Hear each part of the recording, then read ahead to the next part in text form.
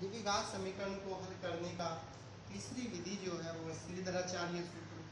तो श्रीधराचार्य सूत्र के द्वारा भी आप समीकरणों को हल कर सकते हो। मान लो A X square plus B X plus C equal zero ये हमारी एक द्विघात समीकरण है। तो श्रीधराचार्य सूत्र के द्वारा करना है आपको इसे हल। तो श्रीधराचार्य सूत्र क्या कहता है?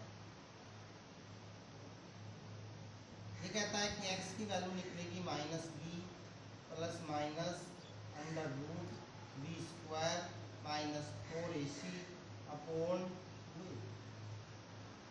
इस सूत्र के द्वारा हम द्विघात समीकरणों का हल कर सकते हैं। जैसे एक हमारी द्विघात समीकरण है एक्स स्क्वायर माइनस प्लस तीन एक्स माइनस दस इक्वल ज़ीरो इस समीकरणों को हमें श्रीधराचार्य सूत्र से हल करना है। तो हल करने के लिए। तो हल करने के लिए सबसे पहले हम इसकी तुलना करेंगे। A X square plus B X plus C equal zero से। तो यहाँ ए की वैल्यू जो मिलेगी वो वन मिलेगी। बी की वैल्यू जो होगी वो थ्री होगी क्योंकि एक्स का गुणांक थ्री है। अचर पद जो है वो हमारा माइनस दस है। अब श्रीधराचार्य सूत्र क्या कहता है?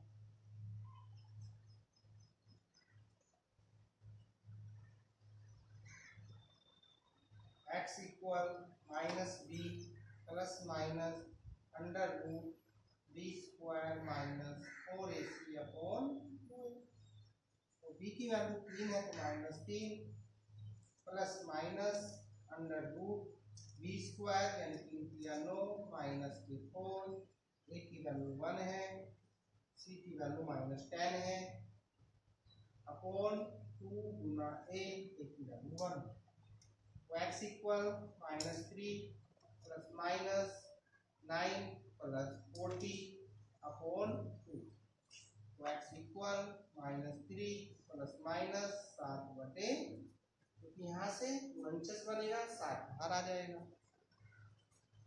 बार लेंगे प्लस चिन्ह। X equal minus three plus seven बटे दो। एक्स बराबर चार बटे दो यानी एक्स का मान कितना आया दो एक बार माइनस चिन्ह लेंगे। जब माइनस चिन्ह लेंगे तो एक्स की जो वैल्यू होगी, वो होगी माइनस तीन, माइनस सात बटे दो तो एक्स बराबर माइनस दस बटे दो तो एक्स की वैल्यू होगी माइनस पाँच। जो हल होंगे समीकरण के, एक एक्स की वैल्यू आएगी दो, एक वैल्यू आएगी माइनस पाँच। यानी समीकरण के जो दो हल हैं, दो मूल हैं एक्स के जो दो मान हैं, वो एक दो है। और एक माइनस पाँच है। इस प्रकार आप श्रीधराचार्य सूत्र का प्रयोग करके भी द्विघात समीकरणों को हल आप कर सकते हो। ठीक है?